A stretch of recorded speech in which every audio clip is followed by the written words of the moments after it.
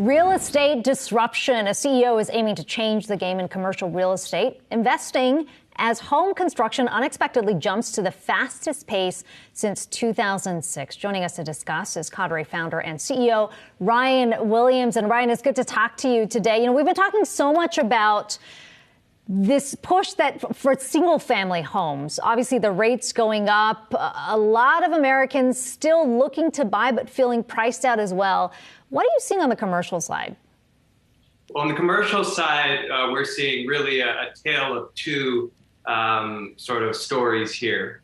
First tale is there's a ton of growth, an unprecedented growth in some sectors uh, like multifamily, like industrial, like life sciences and suburban office. And the other tale um, is that there are sectors that are facing uh, incredible headwinds that even pre-pandemic uh, were falling knives in many ways. You think about retail, you think about sort of business-oriented hotel. And at Cadre, we're focused on is giving individuals access to the winning asset classes and the winning markets, given it is so expensive to buy a home today, and given so many people are being priced out the American dream.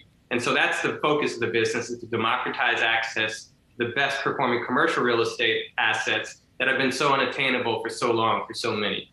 So, Ryan, what, what are the hot markets right now? We know that in New York City, we're observing a lot of vacancies. Uh, you know, when it comes to these retail locations or offices that can't fill desks, um, is it in the big center cities or is it in some of these up and coming cities that you like? Yeah, well, what I would tell you is that we developed something using um, our team's in house experience and expertise, as well as data science called the Cadre 15. It's our top 15 growth and affordable markets. And those two uh, concepts are critical in tandem.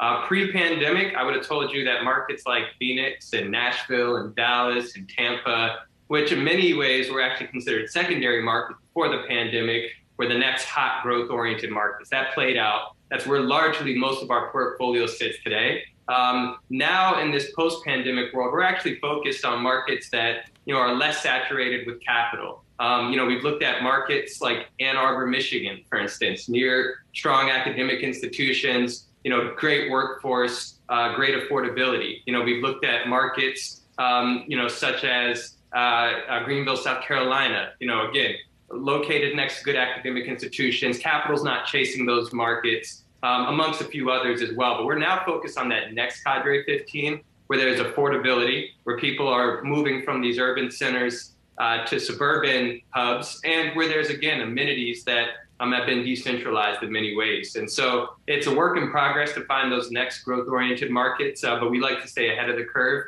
Um, and it's nice to see that the markets that we've been investing in um, are now becoming primary capital centers for some of the biggest institutions in the space. You know, Brian mentioned some of those empty office spaces. You, you certainly really notice that in major cities. And I have to wonder what you think is going to fill some of those spots. I've heard you talk in the past about these developers having to be a little more creative because that workforce that was there that filled those chairs in those rooms before, it's not going to come back at the same level that we saw pre-pandemic. That's right. Yeah, I mean, I think the name of the game is flexibility, adaptability, and quality.